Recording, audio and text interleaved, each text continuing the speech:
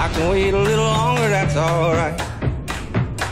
Two weeks since she went away, but she's coming back today. She'll be here with me tomorrow night, and that's alright. That's alright.